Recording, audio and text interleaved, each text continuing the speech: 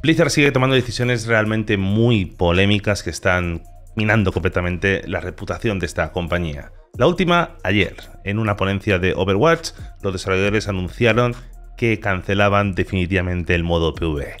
El modo historia, el modo héroe seguirá funcional de alguna forma dentro del juego. A partir de la tercera temporada, pues tendremos misiones de algunos héroes, algunas cinemáticas que contarán algo de la historia de Overwatch. Pero lo que es el modo PvE como tal, lo que la gente lleva esperando más de 5 años, no volverá. Y bueno, realmente es un jarrón de agua fría para los fans de Overwatch, sobre todo cuando te lo tienes que tomar como un engaño en toda regla. Hace pocos meses estaban dando hype anunciando que este año conoceríamos lo que habían estado trabajando durante 5 años, el famosísimo modo PvE. Y todo parece que ha sido una estrategia para seguir vendiendo hype y seguir manteniendo a la gente esperanzada de que este modo PvE iba a aparecer en el juego. Y es mucho más grave cuando pensamos, que ya nos contaron hace años, que la razón por la que ellos decían que habían abandonado Overwatch 1 y se iban a centrar en sacar una segunda entrega era justamente en gran parte por este nuevo modo PvE. Algo que ha resultado ser realmente no cierto.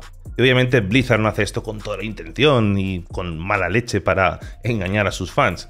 Esto ha sucedido porque Blizzard tiene muchos problemas. Blizzard hace muchos años que arrastra una cantidad de problemas increíbles, sobre todo a nivel de personal. Es una empresa que hace algunos años era el sueño de cualquier desarrollador, trabajar en una fábrica de sueños como era Blizzard.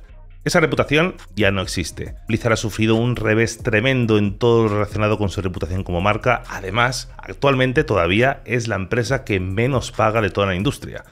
Y por supuesto con sueldos bajos, sumado a la zona donde está la central de Blizzard, donde el nivel de vida es bastante alto, hace que por supuesto esta compañía tenga menos acceso a nuevo talento. Recordad, tened en cuenta que esta industria, la industria de videojuegos, es la industria de entretenimiento más grande del planeta. Así que hace que los desarrolladores, gente especializada en esta industria, sea muy cotizada por muchas empresas. Cada vez hay más empresas que desarrollan videojuegos. Eso hace que el mercado sea mucho más disputado y encima si tienes herramientas con sueldos bajos, zonas poco atractivos donde vivir y encima tienes una reputación como el culo, pues ¿qué va a pasar? Que muchos desarrolladores se van a marchar de tus filas y otros que intentas capturar se van a escapar completamente hacia otras compañías. Y ese es, en resumen, el gran problema de Blizzard. Sin embargo, Blizzard también pudo conseguir mucho talento en el último uno o dos años gracias al teletrabajo. Después de la pandemia, muchas empresas habían cambiado su forma de trabajar, Blizzard entre ellos, y combinaban empleados inside con empleados a distancia. De hecho, muchos de los nuevos empleados y algunos empleados clásicos trabajaban exclusivamente a distancia. Y parecía que Blizzard estaba recuperándose, sacando Diablo 4, haciendo una de las mejores expansiones de WoW que conocemos de los últimos años, Overwatch con un lanzamiento interesante, parecía que íbamos a tener novedades importantes parecía que Blizzard iba por buen camino. Sin embargo, ha habido una hecatombe en los últimos meses que mucha gente no se ha dado cuenta, hay gente que nos ha hecho eco, de hecho en la comunidad hispana poca gente ha hablado sobre esto, solamente Souza Carlos que me conste, pero la comunidad inglesa sí que se ha hablado más sobre el tema.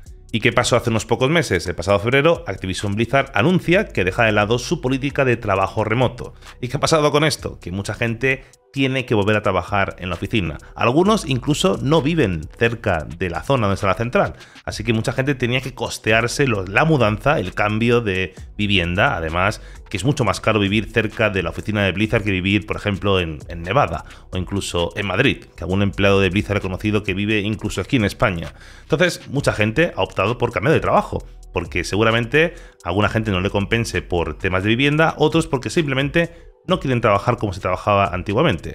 El caso es que, al igual que la empresa tiene toda la potestad de cambiar esta política, el empleado también tiene la capacidad de decisión de si le interesa seguir la empresa o no.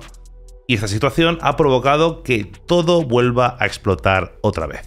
Y es que Blizzard está teniendo una sangría increíble, una cantidad ingente de abandonos por parte de muchos miembros importantes de los equipos de desarrollo de los diferentes juegos de Blizzard. De hecho, nosotros comentamos hace un par de semanas en Twitter este tweet tan desafortunado que escribí un día que estaba muy enfadado. Vimos la cinemática final del parche 10.1 de World of Warcraft y bueno, realmente eh, yo personalmente me decepcioné mucho. La verdad es que utilicé palabras que no tocaban. Esto era para contarlo en un directo, en un vídeo como en el día de hoy, no hacer un tweet enfadado. Así que os pido disculpas con algunos términos que utilicé como Shadowlands 2.0, lo cual no es real. Pero sí que comentaba una información que mucha gente no conocía, que estaba en el tweet de abajo, que mucha gente no, no miró. Y es básicamente este tweet del productor de World of Warcraft, Adam, que bueno, comentaba en resumen que estaban pidiendo una cantidad de empleados increíble, que estaban teniendo tantos problemas de pérdida de empleados que en este momento estaban ya en la fase de crear mapas de crisis para decidir directamente qué contenido iban a poder sacar y qué contenido no iban a sacar nunca básicamente recortes. Y esta información es muy importante y esto tiene mucho que ver con lo que ha pasado en el día de ayer con Overwatch.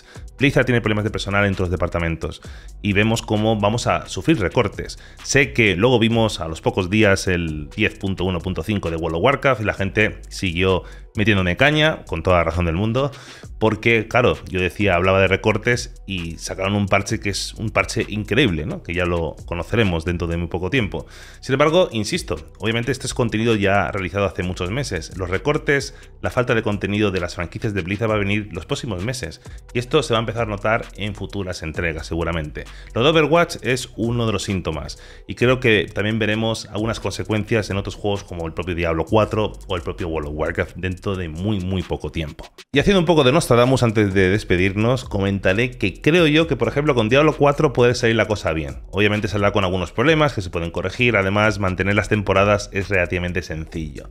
Creo que los recortes, estos problemas los veremos más materializados en juegos como World of Warcraft que son mucho más exigentes a nivel de recursos. Y es lo que comentaba o intentaba comentar otro día. Creo que vamos a tener recortes durante esta expansión. Ten en cuenta que actualmente están desarrollando el 11.0 que se presentará a final de este año. Final de este año pues tendremos nueva expansión, precompras, mucho hype y seguramente el siguiente año averiguaremos que no va a haber un 10.3. Puede que metan la tijera justamente en ese contenido final de Dragonflight, una expansión que es de las que menos ha vendido, que mejor se ha mantenido con número de jugadores, pero que menos se ha vendido de inicio. Y esto ya sabéis cómo actúa Blizzard cuando un juego flaquea, lo que hicieron ayer con Overwatch 2, por ejemplo. Y seguramente saldrá Hasi Costas o Danuser diciendo que no, no, no, teníamos planificado dos parches principales, nada, más, como hicieron en la pasada expansión. Pero bueno, de todos modos creo que Dragonflight es un éxito en el aspecto de avance de, de este juego, de por lo menos de recuperación de confianza por parte de los jugadores de toda la vida. Pero la 11.0 tiene que ser una expansión que aporte, que ponga algo más encima de la mesa. Veremos qué pasa, veremos qué consecuencias nos trae estos problemas que tiene actualmente Blizzard.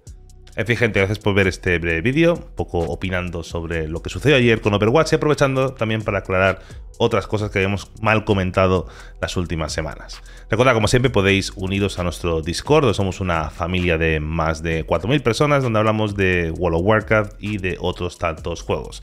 Bueno, estar atentos estos días que vamos a anunciar un par de cosas. Primeramente, un proyecto que ya conocéis de hace tiempo, pero que vamos a retomar después de varios años de, de parón. Y también puede, puede, no estoy pensando aún, puede que retomemos los directos en la plataforma morada dentro de poco tiempo, por lo menos para todo temas de gameplay. Seguiremos con el directo semanal aquí en YouTube, pero haremos directos más regularmente en la plataforma morada. Y os informaré más sobre este tema. En fin, gente, una vez más gracias y nos vemos en el siguiente vídeo. Un abrazote.